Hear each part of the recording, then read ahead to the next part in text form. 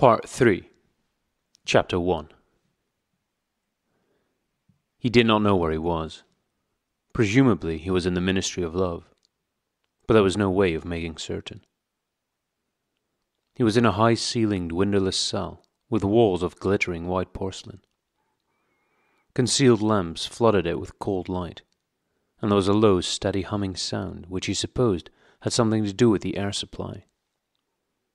A bench or shelf, just wide enough to sit on, ran round the wall, broken only by the door, and, at the end opposite the door, a lavatory pan with no wooden seat. There were four telescreens, one in each wall. There was a dull aching in his belly. It had been there ever since they had bundled him into the closed van and driven him away. But he was also hungry with a gnawing, unwholesome kind of hunger. It might be twenty four hours since he had eaten. It might be thirty six. He still did not know, probably never would know, whether it had been morning or evening when they arrested him. Since he was arrested, he had not been fed. He sat as still as he could on the narrow bench, with his hands crossed on his knee. He had already learned to sit still. If you made unexpected movements, they yelled at you from the telescreen. But the craving for food was growing upon him. What he longed for above all was a piece of bread. He had an idea that there was a few breadcrumbs in the pocket of his overalls. It was even possible. He thought this because from time to time something seemed to tickle his leg, that there might be a sizable bit of crust there. In the end, the temptation to find out overcame his fear. He slipped a hand into his pocket. Smith! yelled a voice from the telescreen. 6079 Smith W. Hands out of pockets in the cells. He sat still again, his hands crossed on his knee. Before being brought here, he had been taken to another place, which must have been an ordinary prison or a temporary lockup used by the patrols. He did not know how long he had been there. Some hours, at any rate. With no clocks and no daylight, it was hard to gauge the time. It was a noisy, evil smelling place. They had put him into a cell similar to the one he was now in, but filthily dirty, and at all times crowded by ten or fifteen people. The majority of them were common criminals, but there were a few political prisoners among them.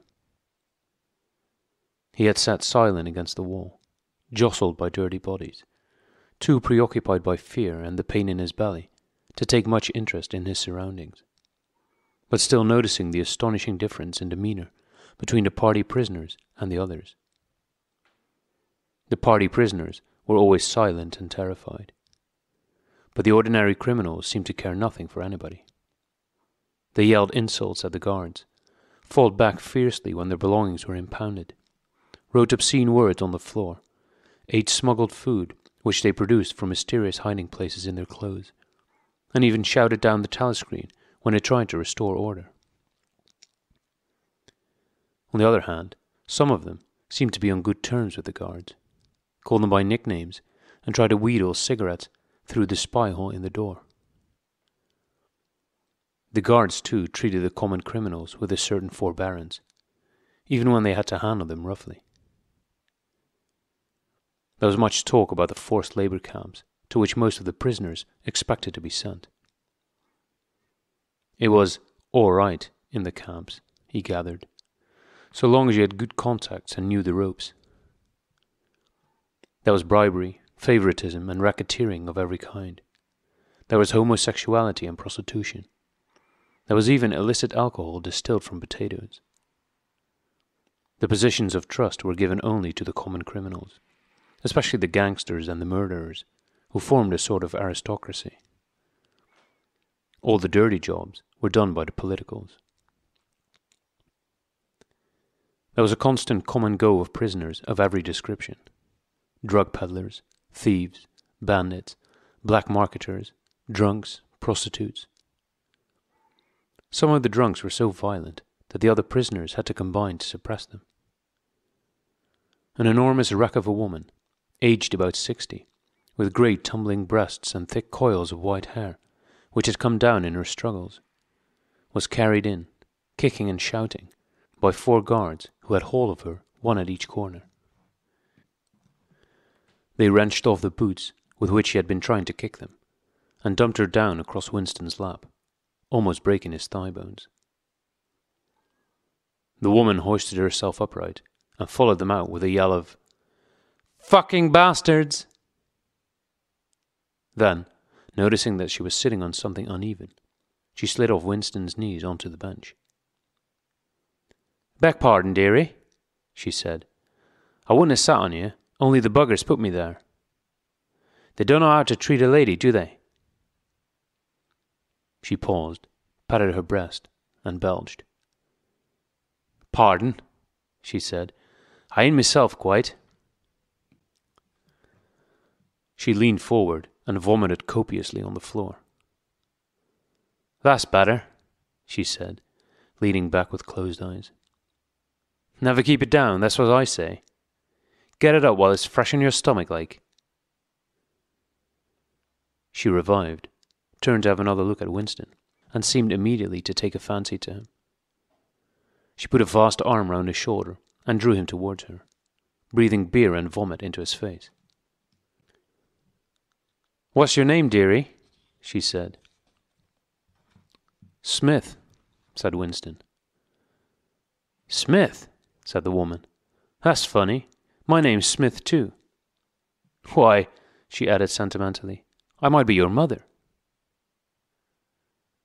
She might, thought Winston, be his mother. She was about the right age and physique, and it was probable that people changed somewhat after twenty years in a forced labor camp. No one else had spoken to him.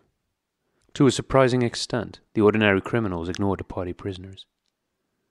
The polits, they called them, with a sort of uninterested contempt.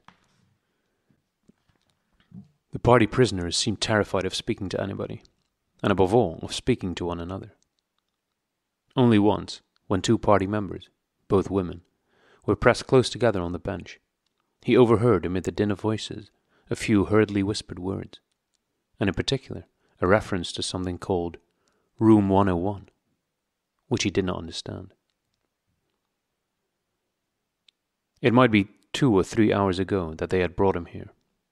The dull pain in his belly never went away, but sometimes it grew better and sometimes worse, and his thoughts expanded or contracted accordingly.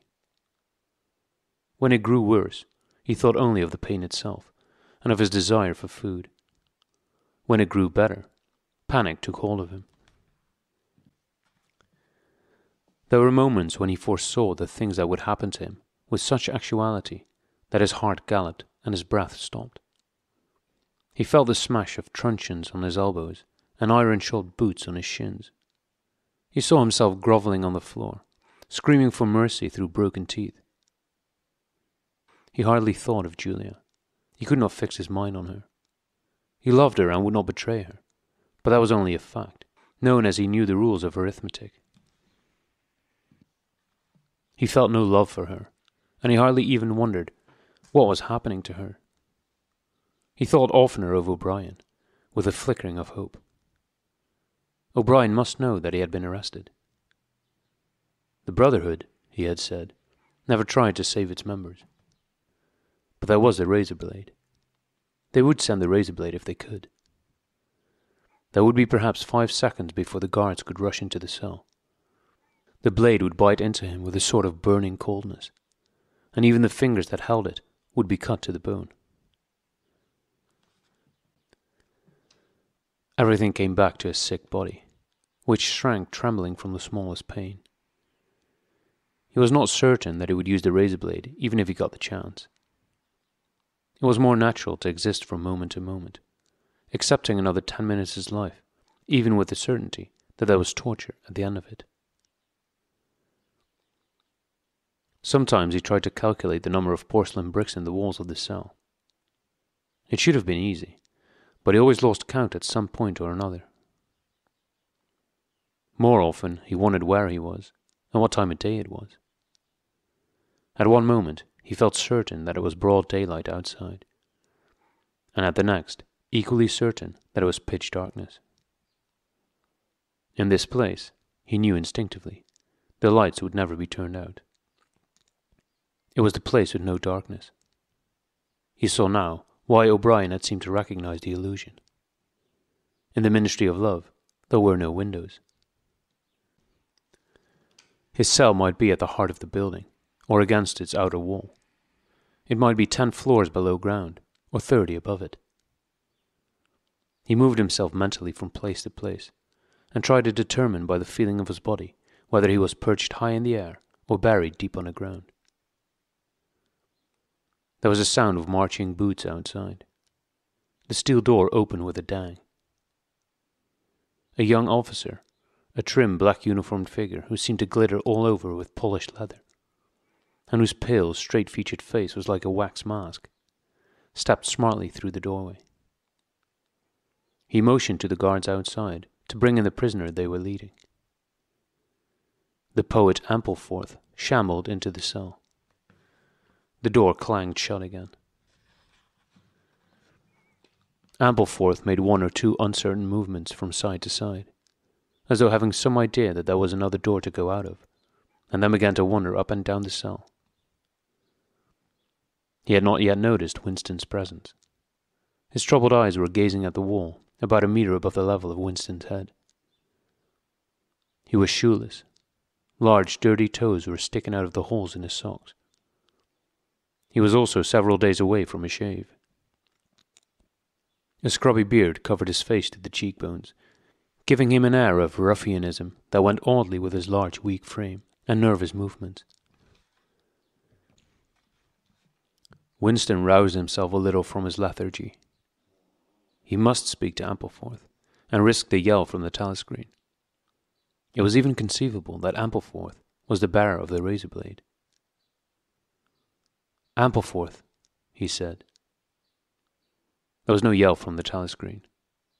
Ampleforth paused mildly startled. His eyes focused themselves slowly on Winston. Ah, Smith, he said. You too. What are you in for?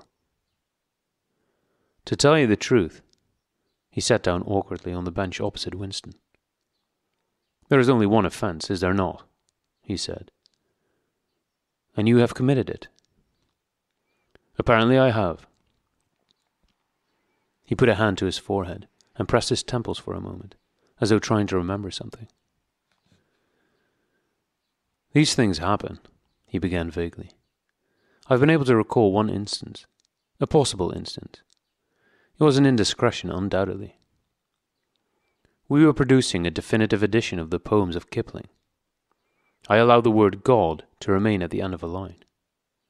I could not help it, he added almost indignantly raising his face to look at Winston. It was impossible to change the line. The rhyme was rod. Do you realize that there are only twelve rhymes to rod in the entire language? For days I had racked my brains. There was no other rhyme. The expression on his face changed. The annoyance passed out of it, and for a moment he looked almost pleased. A sort of intellectual warmth, the joy of the pedant who has found out some useless fact, shone through the dirt and scrubby hair. Has it ever occurred to you, he said, that the whole history of English poetry has been determined by the fact that the English language lacks rhymes? No, that particular thought had never occurred to Winston. Nor, in the circumstances, did it strike him as very important or interesting. Do you know what time of day it is? He said. Ampleforth looked startled again. I'd hardly thought about it. They arrested me, it could be two days ago, perhaps three. His eyes flitted round the walls, as though he half expected to find a window somewhere. There's no difference between night and day in this place. I do not see how one can calculate the time. They talked desultorily for some minutes. Then, without apparent reason, a yell from the telescreen bade them be silent. Winston sat quietly, his hands crossed. Ampleforth, too large to sit in comfort on the narrow bench, fidgeted from side to side, clasping his lank hands first round one knee, then round the other. The telescreen barked at him to keep still. Time passed. Twenty minutes. An hour. It was difficult to judge. Once more there was a sound of boots outside. Winston's entrails contracted. Soon, very soon, perhaps in five minutes, perhaps now, the tramp of boots would mean that his own turn had come. The door opened. The cold faced young officer stepped into the cell. With a brief movement of the hand, he indicated Ampleforth. Room 101, he said. Ampleforth marched clumsily out between the guards, his face vaguely perturbed, but uncomprehending. What seemed like a long time passed. The pain in Winston's belly had revived. His mind sagged round and round on the same track, like a ball falling again and again into the same series of slots. He had only six thoughts the pain in his belly, a piece of bread, the blood and the screaming, O'Brien, Julia, the razor blade. There was another spasm in his entrails. The heavy boots were approaching. As the door opened, the wave of air that it created brought in a powerful smell of cold sweat. Parsons walked into the cell. He was wearing khaki shorts and a sports shirt. This time, Winston was startled into self forgetfulness. You here? he said. Parsons gave Winston a glance in which there was neither interest nor surprise, but only misery. He began walking jerkily up and down, evidently unable to keep still. Each time he straightened his pudgy knees, it was apparent that they were trembling. His eyes had a wide open, staring look, as though he could not prevent himself from gazing at something in the middle distance. What are you in for? said Winston. Thought crime, said Parsons, almost blubbering. The tone of his voice implied at once a complete admission of his guilt and a sort of incredulous horror that such a word could be applied to himself. He paused opposite Winston and began eagerly appealing to him. You don't think they'll shoot me, do you, old chap? They don't shoot you if you haven't actually done anything. Only thoughts, which you can't help. I know they give you a fair hearing. Oh, I trust them for that. They'll know my record, won't they? You know what kind of a chap I was. Not a bad chap in my way. Not brainy, of course, but keen. I tried to do my best for the party, didn't I? I'll get off with five years, don't you think? Or even ten years? A chap like me could make himself pretty useful in a labour camp. They wouldn't shoot me for going off the rails just once. Are you guilty? said Winston. Of course I'm guilty, cried Parsons with a servile glance at the telescreen. You don't think the party would arrest an innocent man, do you? His frog like face grew calmer, and even took on a slightly sanctimonious expression. Thought crime is a dreadful thing, old man, he said sententiously. It's insidious. It can get hold of you without your even knowing it. Do you know how it got hold of me? In my sleep. Yes, that's a fact. There I was, working away, trying to do my bit. Never knew I had any bad stuff in my mind at all and then I started talking in my sleep. Do you know what they heard me saying? He sank his voice, like someone who's obliged for medical reasons to utter an obscenity. Down with Big Brother. Yes, I said that. Said it over and over again, it seems. Between you and me, old man, I'm glad they got me before it went any further. Do you know what I'm going to say to them when I go up before the tribunal? Thank you, I'm going to say. Thank you for saving me before it was too late. Who denounced you? said Winston. It was my little daughter, said Parsons with a sort of doleful pride. She listened at the keyhole, heard what I was saying, and nipped off to the patrols the very next day. Pretty smart for a nipper of seven, eh? I don't bear her any grudge for it. In fact, I'm proud of her. It shows I brought her up in the right spirit, anyway. He made a few more jerky movements up and down, several times casting a longing glance at the lavatory pan. Then he suddenly ripped down his shorts. Excuse me, old man, he said. I can't help it. It's the waiting.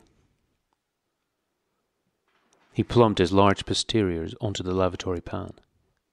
Winston covered his face with his hands. Smith! yelled the voice from the telescreen. 6079 Smith W. Uncover your face. No face is covered in the cells. Winston uncovered his face. Parsons used the lavatory, loudly and abundantly. It then turned out that the plug was defective, and the cell stank abominably for hours afterwards.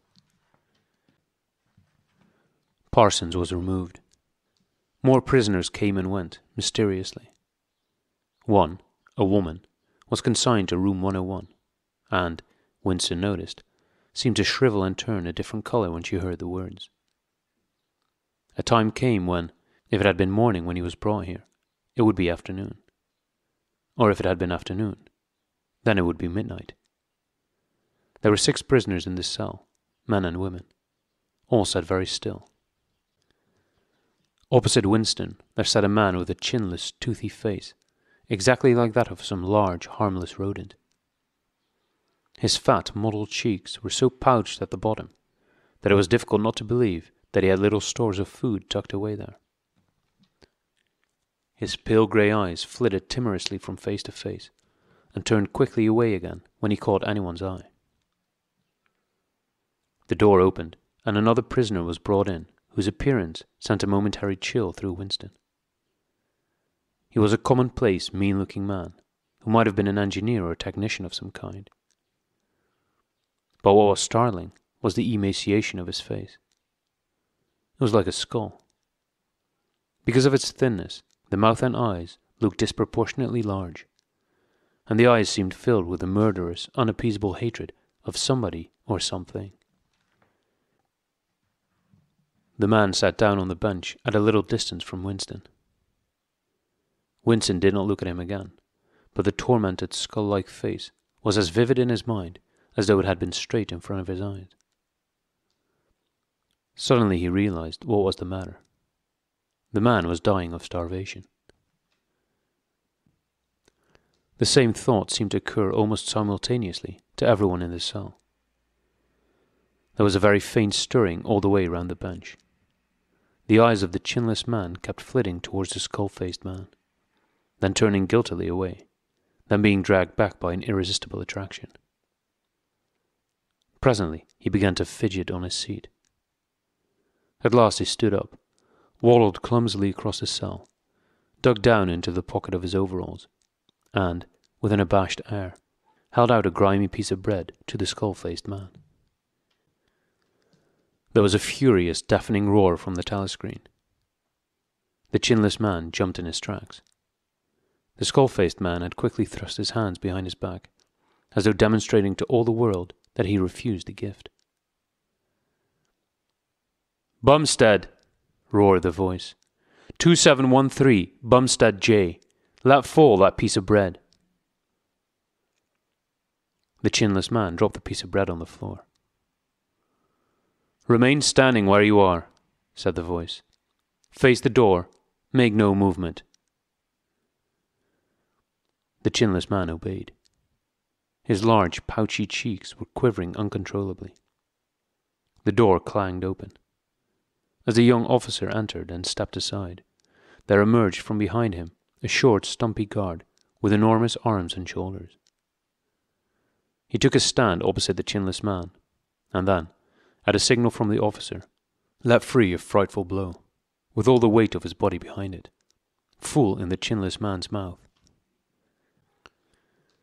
The force of it seemed almost to knock him clear of the floor. His body was flung across the cell and fetched up against the base of the lavatory seat. For a moment he lay as though stunned, with dark blood oozing from his mouth and nose. A very faint whimpering or squeaking, which seemed unconscious, came out of him. Then he rolled over and raised himself unsteadily on hands and knees. Amid a stream of blood and saliva, the two halves of a dental plate fell out of his mouth. The prisoners sat very still, their hands crossed on their knees. The chinless man climbed back into his place. Down one side of his face the flesh was darkening. His mouth had swollen into a shapeless cherry colored mass, with a black hole in the middle of it. From time to time, a little blood dripped onto the breast of his overalls. His grey eyes still flitted from face to face, more guiltily than ever, as though he were trying to discover how much the others despised him for his humiliation. The door opened. With a small gesture, the officer indicated the skull faced man. Room 101, he said. There was a gasp and a flurry at Winston's side. The man had actually flung himself on his knees on the floor, with his hands clasped together. Comrade! Officer! he cried. You don't have to take me to that place. Haven't I told you everything already? What else is it you want to know? There's nothing I wouldn't confess. Nothing. Just tell me what it is, and I'll confess it straight off. Write it down, and I'll sign it. Anything. Not room 101. Room 101, said the officer. The man's face, already very pale, turned a colour Winston would not have believed possible. It was definitely, unmistakably, a shade of green. Do anything to me, he yelled. You've been starving me for weeks. Finish it off and let me die. Shoot me. Hang me. Sentence me to 25 years.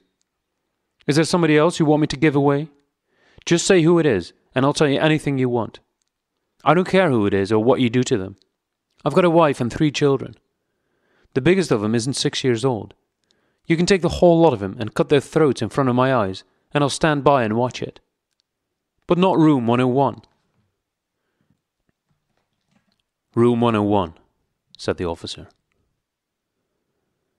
The man looked frantically round at the other prisoners, as though with some idea that he could put another victim in his own place. His eyes settled on the smashed face of the chinless man. He flung out a lean arm. That's the one you ought to be taking, not me, he shouted. You didn't hear what he was saying after they bashed his face. Give me a chance and I'll tell you every word of it. He's the one that's against the party, not me. The guard stepped forward. The man's voice rose to a shriek. You didn't hear him, he repeated. Something went wrong with the telescreen. He's the one you want. Take him, not me. The two sturdy guards had stopped to take him by the arms. But just at this moment, he flung himself across the floor of the cell and grabbed one of the iron legs that supported the bench. He had set up a wordless howling, like an animal. The guards took hold of him to wrench him loose, but he clung on with astonishing strength. For perhaps twenty seconds they were hauling at him. The prisoners sat quiet, their hands crossed on their knees, looking straight in front of him. The howling stopped.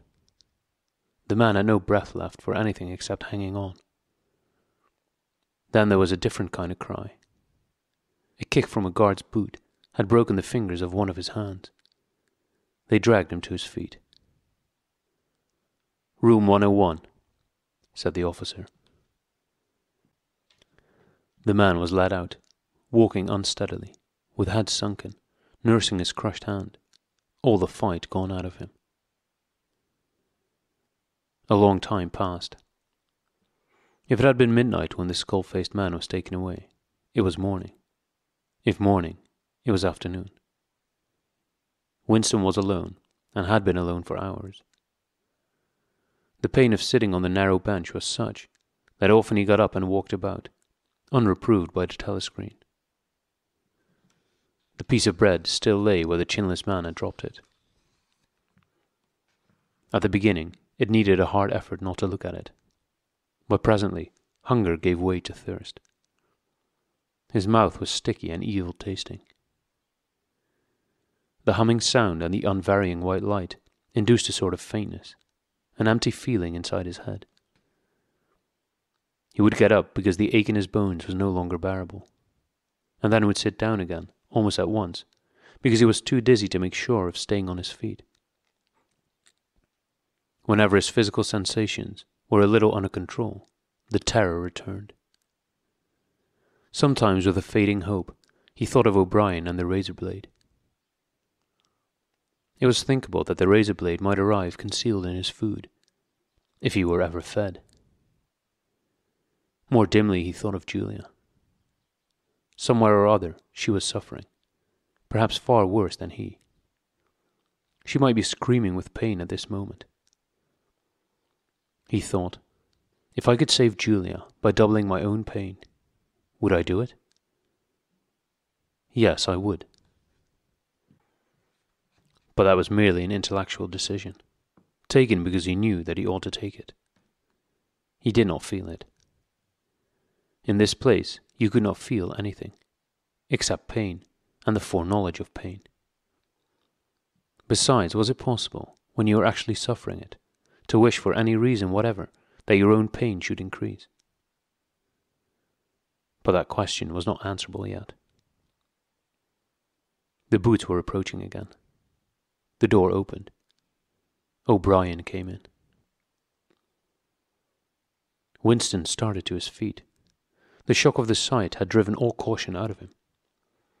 For the first time in many years, he forgot the presence of the telescreen. They've got you too, he cried. They got me a long time ago, said O'Brien with a mild, almost regretful irony. He stepped aside.